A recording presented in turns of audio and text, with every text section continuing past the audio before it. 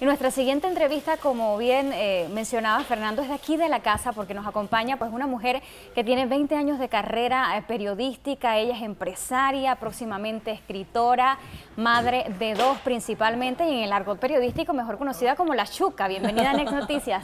¿Cómo estás, Erika? Me encanta estar aquí. Qué gusto que nos acompañes y que, y que, nos cedas este espacio. Eh, yo decía que principalmente madre de dos porque, y lo has dicho abiertamente antes, las madres que tienen niños con capacidad diferentes, no sé si es correcto llamarla así, me corrige si no es así, niños con capacidades especiales. o diferentes, traen consigo eh, una labor especial ellos mismos porque convierten a otro ser en un ángel, en un ángel que les acompaña y yo me incluyo y se nos cae la baba cuando vemos que subes esos videos en los que siempre das la milla extra, en el que si te tienes que poner eh, en un brinca-brinca para que tu hijo viva una experiencia parangonable con el primero lo haces, creo que si te tienes que tirar de un paracaídas para que lo haga y viva todas esas experiencias lo haces y, primero quiero que nos hables de eso, ¿cómo llevas ese balance entre pues ser madre de dos, de un niño que pues se desarrolla con naturalidad y otro que tiene una capacidad distinta? Bienvenida. Gracias por esta entrevista. Eh, se lleva con mucha organización, como lo he dicho en, entrevistas anteriores, y con mucha pasión. Y yo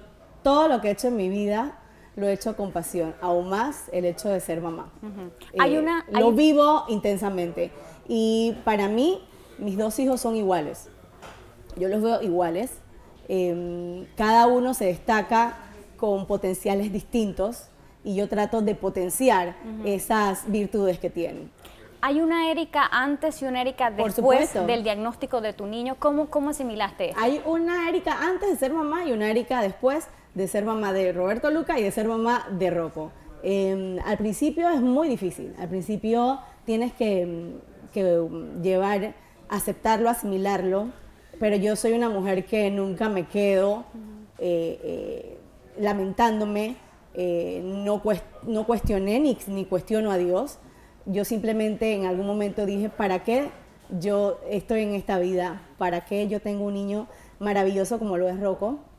Y em, decidí entonces salir adelante, salir adelante con los consejos y me guié por otros ejemplos exitosos de madres a las cuales yo admiro muchísimo en este caso la mamá de Katy Holande, ya ver que también es la mamá de Juanpi, y la mamá de mi compañera de radio, Daniela Torrijos, que es Vivian Fernández de Torrijos, entre otras madres que nos apoyamos en estos temas, porque yo creo que esa es la mejor manera de, de salir adelante. No hay nada mejor que el testimonio o la experiencia de otra mamá o de otros papás. Antes de que entremos en esa experiencia, porque sé que te encaminas ahora a escribir un libro que busca contar esas anécdotas, y acá estamos viendo pues imágenes de Erika con sus bebés, eh, y la también, y tu mamá también que has, que has mencionado anteriormente, pues que, que es un apoyo para ti. ¿Sentías temor de cómo iba a crecer este segundo bebé del desarrollo del mismo? Por ejemplo, en términos de discriminación, en términos de su inserción laboral, ¿cuáles eran los principales temores? Es inevitable, yo creo que todos los padres sentimos temores, independientemente si tu hijo tiene o no tiene una condición. Todos los padres queremos que nos acepten a nuestros hijos, todos los padres queremos que nuestros hijos sean exitosos, que sean felices. Yo decidí, sabes, al principio había mucha incertidumbre, qué va a ser de mi hijo eh, y tal o cual, y decidí coger las cosas un poquito más con calma y vivir un día a la vez. Un día estaba eh, leyendo un libro y, y esta frase, un día, vive un día a la vez, porque además con condición o sin condición, nadie sabe lo que va a pasar mañana. Y el que sepa lo que va a ocurrir mañana, que me llame y me diga.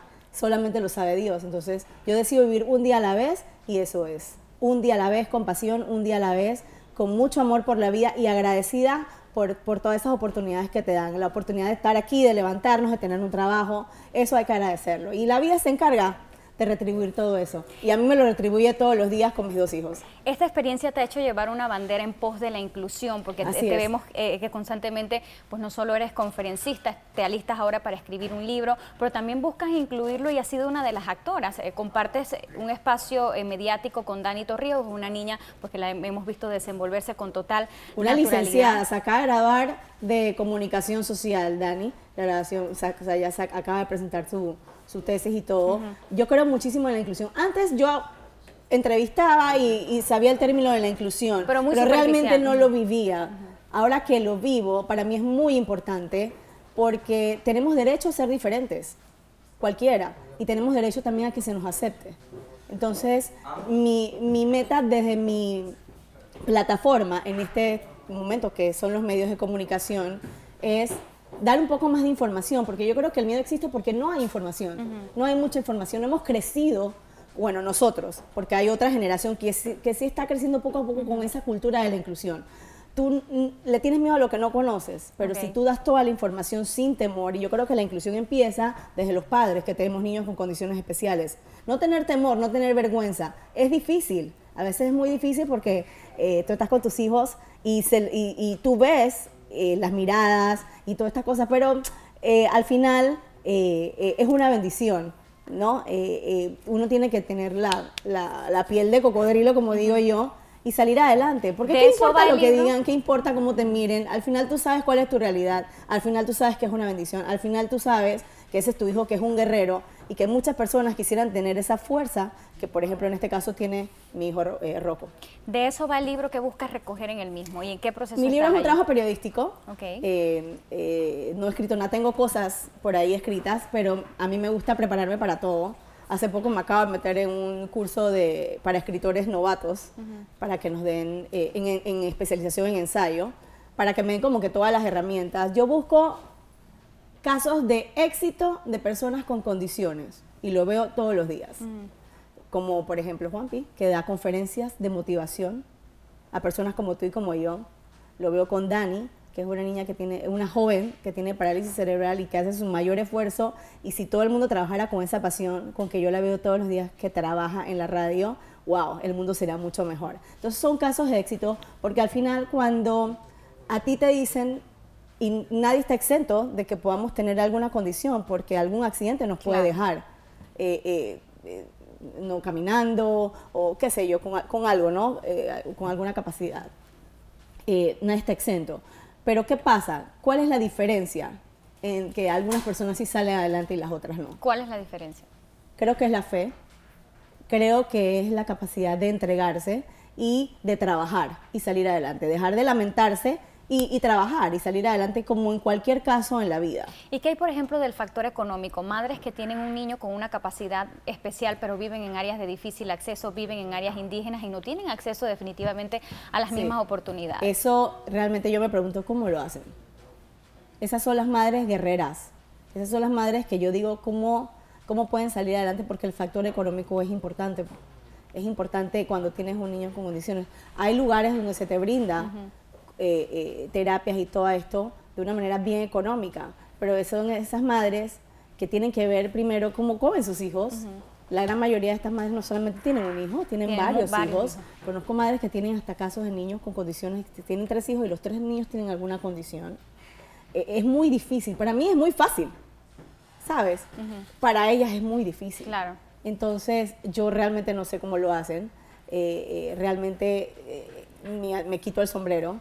Eh, hay mucha gente que me dice a mí, wow, pero ¿cómo lo haces? Yo tengo la fortuna de, yo trabajo en lo que quiero, en lo que yo estudié, tengo tres trabajos, eh, eh, me saco la mugre, realmente. Y tiene Eso sin duda alguna, y sigo en mi casa con mis hijos, pero yo no sé cómo lo hacen ellas. Entonces yo creo que eso también es digno de, de, resaltar y a todas esas mamás solteras, esas mamás, y no tienes que tener niños con condiciones, esas mamás que trabajan de, ¿sabes? Día a día para sacar adelante a sus hijos, para que sean, porque al final nosotros somos los que estamos moldeando a esos niños, para que sean seres humanos de bien. A esas hay que darle un aplauso, a esas hay que darle, ¿sabes?